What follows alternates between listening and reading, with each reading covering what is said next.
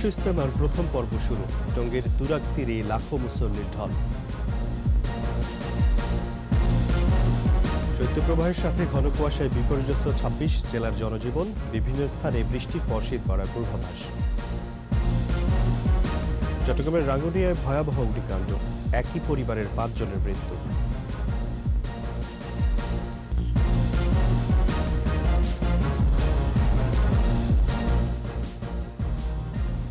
শুনছিলেন first security Islami bank limited সংবাদ শিরোনাম। আমন্ত্রণ দুপুর বারোটার একুশের সংবাদে সাথে আছি রাজিউর রহমান। দর্শক, একুশে টেলিভিশনের সংবাদ একই সাথে সরাসরি দেখতে পাবেন আমাদের Facebook page W W W dot Facebook dot com slash Ekushey twenty four অনলাইনে ফজরের নামাজের পর আমবয়ানে শুরু হয়েছে মুসলিম উম্মার দ্বিতীয় বৃহত্তম জমায়েত, বিশ্ব ইস্তেমার প্রথম পর্ব। ইস্তেমা ময়দানে লাখো মুসল্লির উপস্থিতি। জিকির আসকারে মুখ রাক্তির প্রথম পর্বে বয়ান করছেন মাওলানা জিয়াউল হক। রোববার আখেরি মোনাজাত শেষ হবে প্রথম পর্বের ইস্তেমা গাজীপুর প্রতিনিধি অপূর্ব রায়ের প্রতিবেদন জানাচ্ছেন খুরশিদ আলম মুকুল। টঙ্গীর তুরাক তীরে ফজরের নামাজ শেষে আমবায়নের মধ্য দিয়ে শুরু হয় ছাপ্পান্নতম বিশ্ব ইস্তেমা পাকিস্তানের তাবলিগ জামাতের মুরব্বী মাওলানা জিয়াউল হকের আম্বয়নের মধ্য দিয়ে শুরু হয় এবারের ইস্তেমার কার্যক্রম। ইস্তেমা ময়দানে সারা দেশ থেকে কয়েক লাখ মুসল্লি জড়ো হয়েছেন। একানব্বইটি খিত্তায় অবস্থান করছেন তারা। আমরা এই বয়ানগুলো খুব মনোযোগ দিয়ে শুনতেছি এবং আমল করার নিয়তে শুনতেছি। আল্লাহর দিকে রুজু করে আল্লাহ যাতে আমাদের মানে এই ইসলামের দিকে ই করে এই জন্য আমরা এখানে আসছি আর কি। মুরব্বীদের বয়ান শুনতে আসছি এবং কি আল্লাহকে আজই খুশি করার জন্য আমরা আসছি। এই বিশ্ব ইস্তেমায় আসতে পেরে আমরা নিজেরা মহান রাব্বুল আলমিনের কৃতজ্ঞ প্রকাশ করি। এদিকে বিশ্ব ইস্তেমায় সর্বোচ্চ নিরাপত্তা নিশ্চিত করেছে আইনশৃঙ্খলা বাহিনী। সাদা পোশাক এবং ছদ্মবেশে মুসল্লিদের নিরাপত্তায় নিয়োজিত আছে পুলিশ ও র্যাব সদস্যরা। এছাড়া হেলিকপ্টার দিয়েও সার্বক্ষণিক মনিটরিং করা হচ্ছে ইস্তেমা ময়দান। আমরা নিরাপত্তা চাদরে যেহেতু ঢেকে দিয়েছি সুতরাং কোনো রকম কোনো অনাকাঙ্ক্ষিত ঘটনা এখনও ঘটে নাই।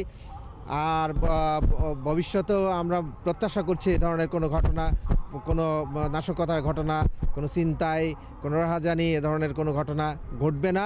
রোববার জোহরের নামাজের আগে আখিরি মোনাজাতে শেষ হবে প্রথম পর্ব। মাঝে চার দিন বাদ দিয়ে বিশ জানুয়ারি শুরু হবে ইস্তেমার দ্বিতীয় পর্ব। খুশিদ আলম মুকুল একুশে টেলিভিশন। শীতে কাঁপছে দেশের ছাব্বিশ জেলা। সেই সাথে আছে কুয়াশার দাপট, শীতের কষ্টে ছিন্নমূল মানুষেরা। আর কাজ না পেয়ে বিপাকে আছেন শ্রমজীবী মানুষেরা। আবহাওয়া অধিদপ্তর বলছে, এ সপ্তাহে সারা দেশে আবারও জেকে বসতে পারে শীত। প্রতিনিধিদের সহায়তায় আরও জানাচ্ছেন খুরশিদ আলম মুকুল। মৃদু ও মাঝারি শৈত্যপ্রবাহ বইছে দেশের ২৬ জেলার উপর দিয়ে। পৌষের শেষে হাড় কাঁপানো শীতের সাথে ঘন কুয়াশায় বিপর্যস্ত জনজীবন। মেঘাচ্ছন্ন আকাশে সূর্যের দেখা না মেলায় দিনও শীত অনুভূত হচ্ছে। ফরিদপুর টাঙ্গাইল মাদারীপুর গোপালগঞ্জ মানিকগঞ্জ যশোর কুষ্টিয়া চুয়াডাঙ্গা বরিশাল ভোলা ছাড়াও রাজশাহী ও রংপুর বিভাগের ষোলো জেলার উপর দিয়ে বইছে শৈত্যপ্রবাহ। ঠান্ডার ভিতরে বাইরেছি না বাইরে করব কি? এর ভিতরে পরিবর্তন খাবার দেওয়া লাগবে।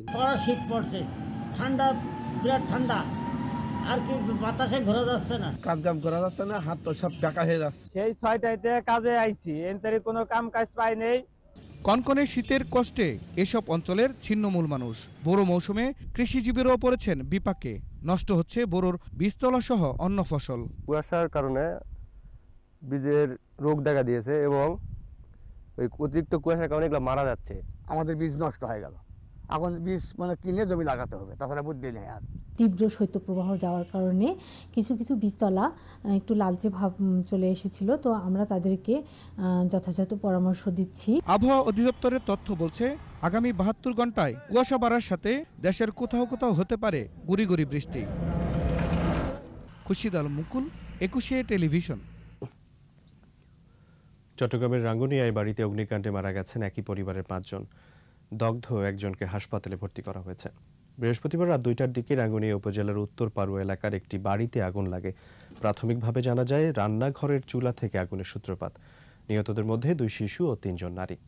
চট্টগ্রামে ফায়ার সার্ভিস জানিয়েছে, আগুন লাগার খবর পেয়ে দুটি ইউনিট ঘটনাস্থলে পৌঁছে। আগুন নিয়ন্ত্রণে এলে ভোর চারটার দিকে পাঁচজনের মরদেহ উদ্ধার করা হয়।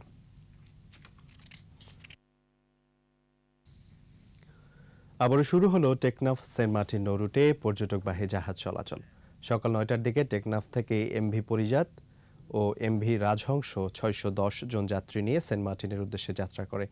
Sea cruise operators owners association of Bangladesh, স্কোয়াব সভাপতি তোফাইল আহমেদ জানান, প্রশাসনের অনুমতি নিয়ে জাহাজ চলাচল শুরু হয়েছে। শনিবার থেকে অন্যান্য জাহাজগুলো চলবে বলেও জানান তিনি। কক্সবাজারের অতিরিক্ত জেলা ম্যাজিস্ট্রেট আবু সুফিয়ান জানান, শর্ত সাপেক্ষে জাহাজ চলাচলের অনুমতি দেওয়া হয়েছে। এর আগে নাফ নদীতে নাব্য সংকট এবং মিয়ানমারে চলা সংঘর্ষের কারণে পর্যটকবাহী জাহাজ চলাচল বন্ধ রাখে প্রশাসন।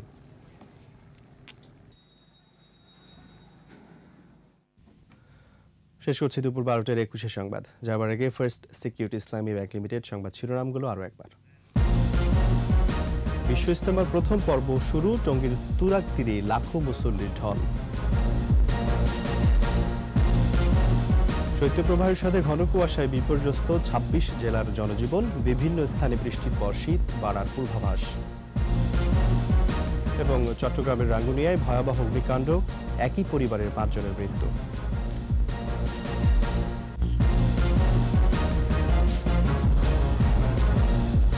সর্বশেষ খবর জানতে ডায়াল করুন টু জিরো টু ওয়ান নম্বরে আর ভিজিট করুন একুশে ড্যাশ টিভি ডট কম এই ওয়েবসাইটে। এছাড়া ফেসবুকে ভিজিট করতে পারেন Facebook dot com slash Ekushey twenty four অনলাইনে এতক্ষণ সাথে থাকার জন্য ধন্যবাদ। পরবর্তী সংবাদ দুপুর দুটায় দেখার আমন্ত্রণ রইল। স্বাস্থ্যবিধি মেনে চলুন, সুস্থ থাকুন।